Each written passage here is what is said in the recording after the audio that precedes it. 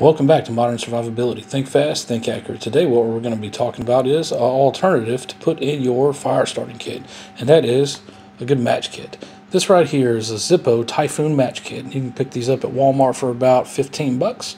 Uh, it comes in a nice waterproof case. It's pretty solidly made. Has really good seals on it. Inside, you're going to find 15 storm uh, stormproof matches. Now, I keep these in the plastic just for a little bit of extra protection, but they will burn up to about 30 seconds in all types of weather. Uh, really good matches.